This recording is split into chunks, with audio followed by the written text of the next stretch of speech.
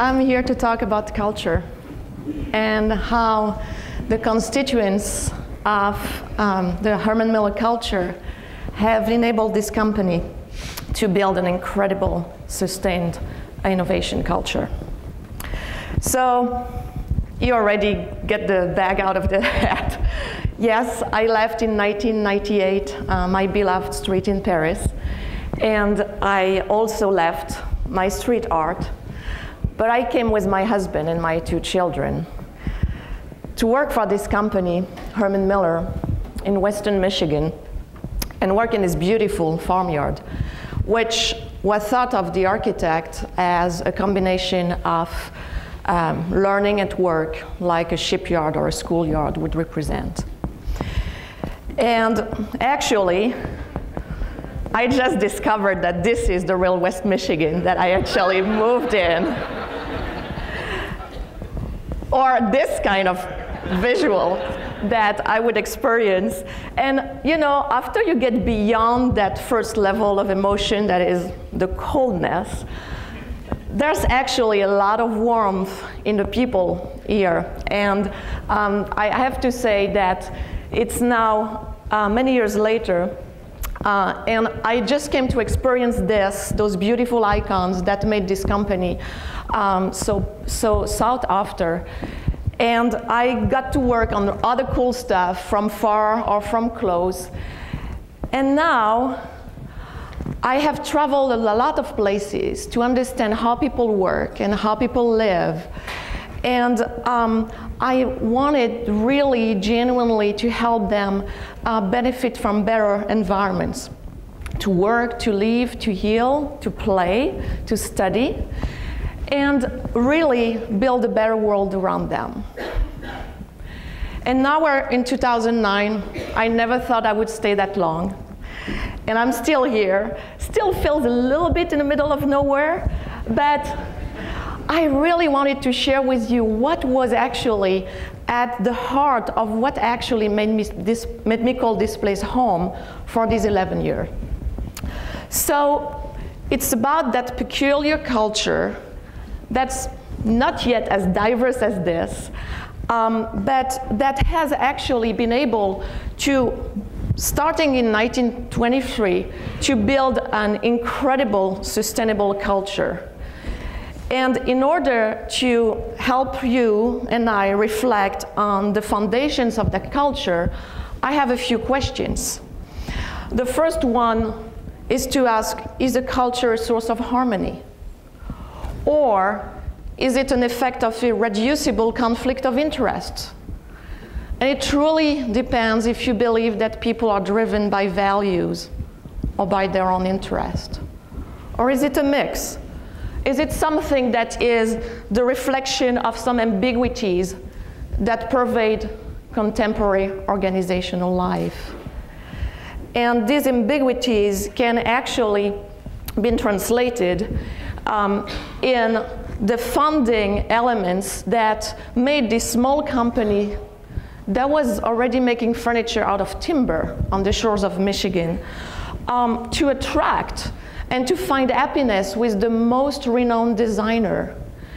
And for those who don't know who Herman Miller is, it really was a person, but he never actually been part of the business. He's actually the person who, who helped DJ De Pree, his son-in-law, to get the money to, to get the company started out of an acquisition. So 1923, the company has flourished ever since, and I'm interested in understanding what are the elements from these foundations that have become consistent, that are pervaded through time, and what are the ones that under external factors or internal factor have provoked some changes, but actually changes that still have protected the core and those very intangible elements that um, continue to be present in everything the people do and, and think and how they interact. So does it have to be consistent? Um, does it have to be uh, inconsistent and expressive of, of personal differences? I don't really know, but there are some really cool models that uh, I'm going to mention to you later that kind of help crack the genome of this culture of innovation. Talking about consistency, um, there's a wonderful quote from George Nelson, who was uh, one of the key designers that came from New York and that was invited by the founder to actually bring a fresh uh, interpretation of what they were doing. And it, this statement that he made in 1952 is still very, very present and is still very much shared with a lot of designers that have worked with the company ever since. Um, and I'm just going to read them to you because they're so great. What you make is important, so you have to focus on the what design is an integral part of the business. Well, there's a lot of design firms today that are claiming this because that has to be there, that has to be in your mind, in your, in your heart, in everything you do. The product must be honest. Don't try to hide any elements of it.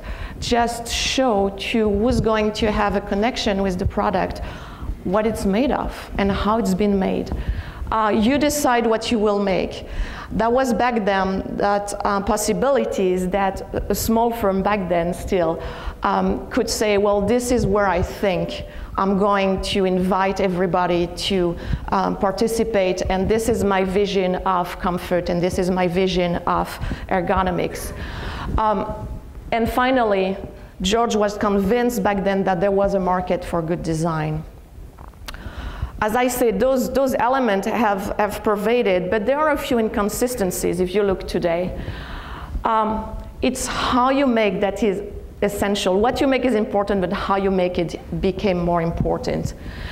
Um, business can be an integral part of the design. So there is that tension between um, the, the, necessity to make sense of and, and meaning and, and viable elements of what you do. And sometimes it's the market that decides, not us always.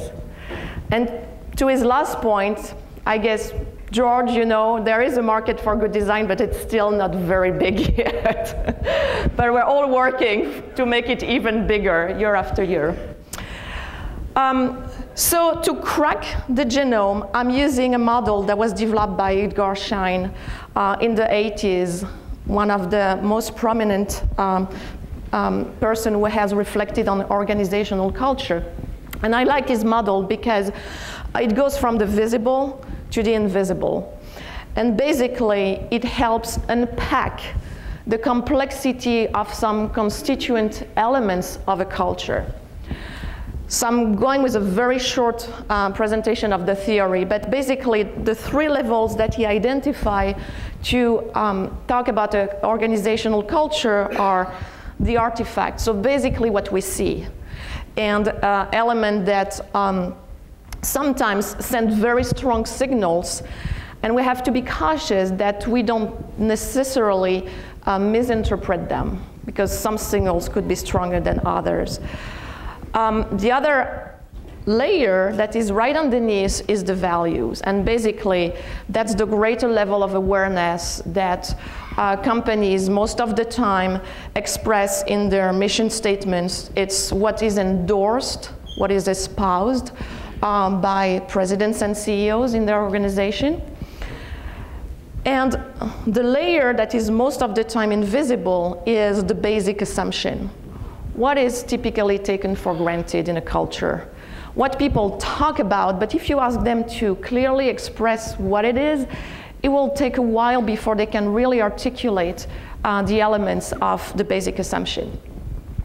So if I apply this model to Herman Miller, I'm sure many of you know those artifacts that is about um, incredible performance in the product that are designed, materials, uh, accessories, products for healing environments, and also those elements that are less well known but are still important, designing for the environment, um, incredible knowledge about ergonomics and how people behave, how people move, um, how people interact, and a lot of um, work uh, that actually happens inside and outside the organization, and that creates those ceremonies, those ritual, and those elements that are about celebrating this incredible brand. Going to values, it's quite interesting because there are specifically nine values that are in everybody's mind and in everybody's uh, actions. Um, and if you go back to um, maybe the 1950s, most of them were there. And to me, I think it's an incredible element that shows that there is this consistency I was talking about earlier in what are the things you go back to when you don't necessarily have an answer in front of a given situation. Those are the, the nine elements that definitely drive a lot of decisions and a lot of actions in order to create a better world around us. Now, the fun stuff is the basic assumption, and what I discovered after 11 years in the company, um, and as I say, that is not necessarily what gets uh, in front of you uh, when, when you go to West Michigan.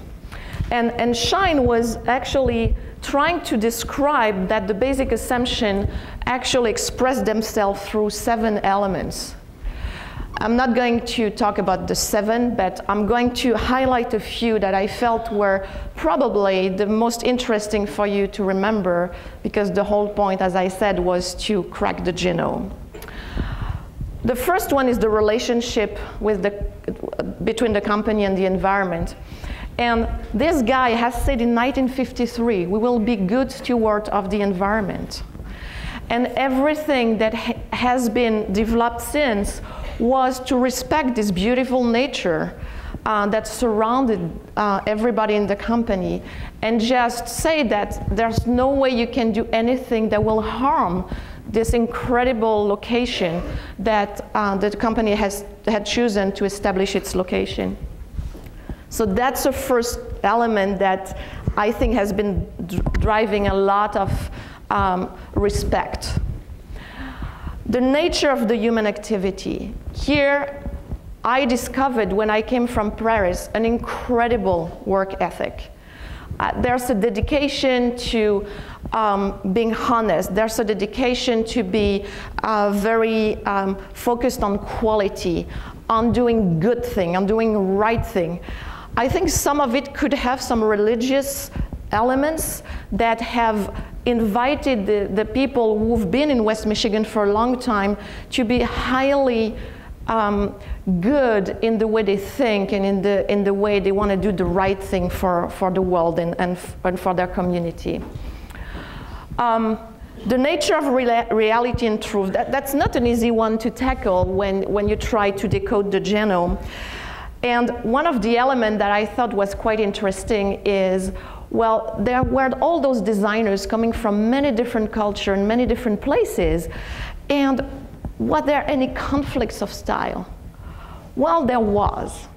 Um, but the thing is, as soon as design was focusing on values, then the conflicts became just minimal. So it's really an important element for me that um, the, the, way that, that reality and truth was actually unfolded over the um, thinking and the development of an incredible design is that values were always the, the factor that were reuniting those designers coming from far away and the people in, in, in West Michigan.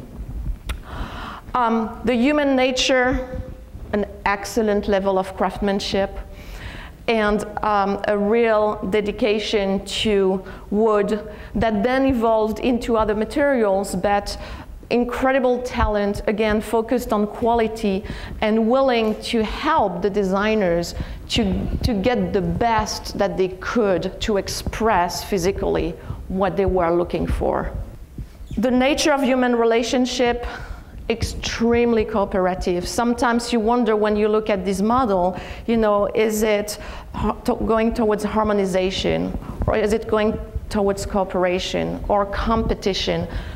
I found the culture very cooperative, lots of community-driven projects, um, building habitat, uh, for the population in need, uh, whether it happens in, in Michigan or in other locations that had uh, gone under major disasters. Uh, a real dedication to come and help and support. And you see that in the everyday work and also in the way that um, people who are not necessarily from the region have been um, embraced and welcomed. And finally, the last point is, is it a, a basic assumption that is going more towards homogeneity or heterogeneity? And I have to say it's quite homogeneous, but again, because there is no in-house designers in this culture, that they are the one that brought the diversity into the culture. And then if you see it as an evolving element, all those new ideas that came um, be, became some elements of, of, of, building the future. So that's how I, I, I would um, crack the genome. And um, I have some, um, of course, cool representation of what it did.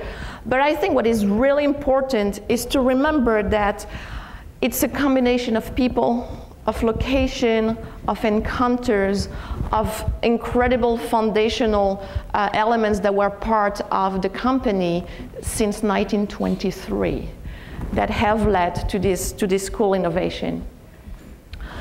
Now, I have a few questions for you.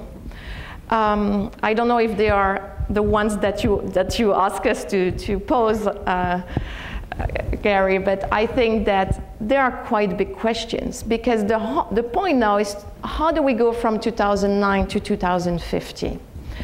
And how do you choose what part of a culture or a history you want to pick to move forward?